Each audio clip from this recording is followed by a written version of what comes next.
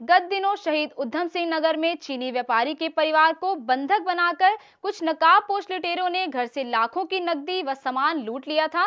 घटना की जानकारी देते हुए घर के नौकर ने बताया था कि उनके मालिक सुदर्शन के पुत्र व पत्नी बच्चों के साथ शिमला घूमने गए हुए थे और उनका दूसरा पुत्र बाहर सैर के लिए गया हुआ था। इसी दौरान किसी ने उनका दरवाज़ा खटखटाया। जब बाहर जाकर उनकी बहू ने दरवाज़ा खोला तो कुछ नकाब पोशों ने उनकी बहू को गन पॉइंट पर रखा और घर के अंदर घुस आए, जिसके बाद उन्होंने गन पॉइंट पर सभी घर वालों को घर की ड्राइंग रूम में बंद कर दिया।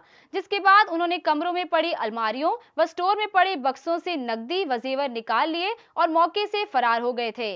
इस संबंधी जानकारी देते हुए डीसीपी नवीन सिंगला ने बताया कि पुलिस नज़दीक में लगे सीसीटीवी कैमरे व घर के नौकर और ड्राइवर से गहरी पूछताछ कर रही है और जल्द ही आरोपियों को गिरफ़्तार कर लिया जाएगा।